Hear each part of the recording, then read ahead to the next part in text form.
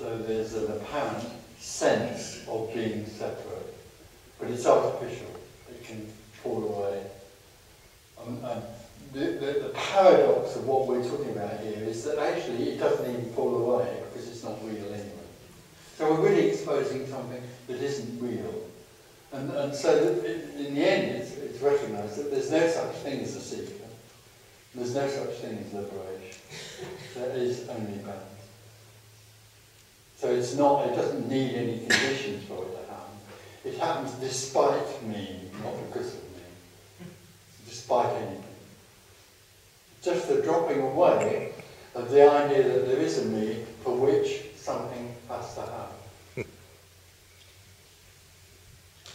Uh, when pain happens, it's difficult to be in well, you, no, it's not difficult. It's impossible to be in boundlessness because there is nothing that can be in boundlessness.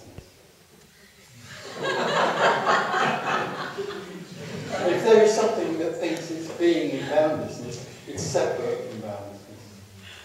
Me can't, there isn't anything that's in boundlessness. It's completely free energy.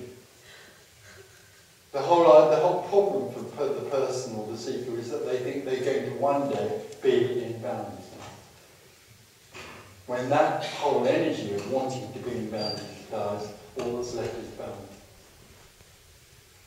And pain is just pain. Pain is pain. Pleasure is pleasure. Sound sound, sound is a sound. All there is is what is. And nothing has any significance. There isn't one thing that's more significant than another. There isn't anything.